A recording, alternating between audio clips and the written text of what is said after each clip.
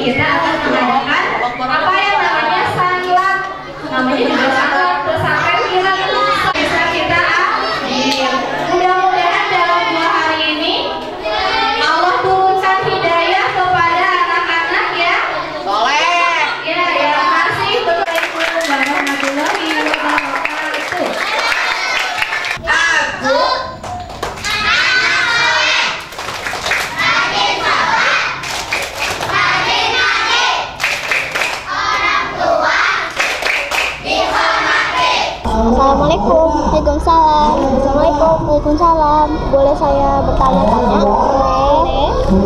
Pesan-pesan mengikuti kegiatan ini Untuk bisa mencari ilmu.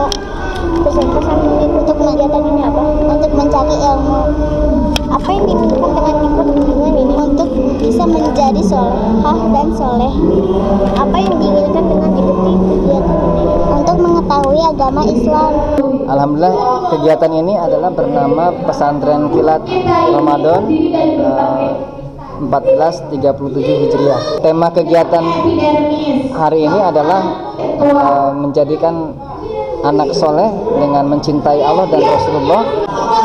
Kegiatan apa saja, Mister?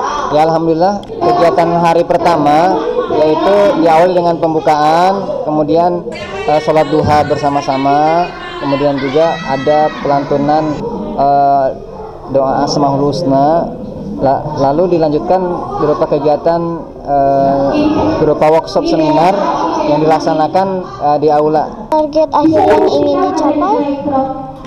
Ya alhamdulillah. Mudah-mudahan dengan pesantren Ramadan ini eh, para siswa ya mendapatkan nilai ruhiyah dengan menambah pengetahuan wawasan tentang bagaimana mengenal Allah, mencintai Allah serta meneladani Rasulullah Shallallahu alaihi wasallam. Waalaikumsalam warahmatullahi wabarakatuh. Boleh saya minta waktunya sebentar? Ya silahkan. Eh, mengapa Miss mengadakan? Oh iya, alhamdulillah sanlat ini ke sekolah adakan, kami adakan. Salah satu tujuannya adalah untuk memberikan pemahaman kepada seluruh siswa, khususnya siswa SD, eh, dalam mengamalkan apa yang jadi tuntunan nilai-nilai ibadah di bulan Ramadan. Gitu. Manfaat dan makna bagi siswanya? Manfaat dan maknanya insya Allah akan banyak sekali eh, pengalaman dan ilmu yang akan diperoleh oleh para siswa di sini eh, yang diberikan oleh para guru-gurunya. Harapan dari kegiatan ini, Miss?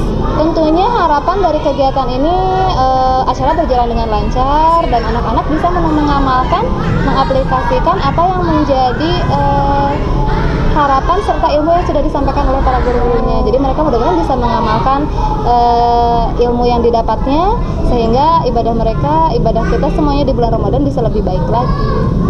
Seperti itu. Terima kasih, Miss, untuk waktunya.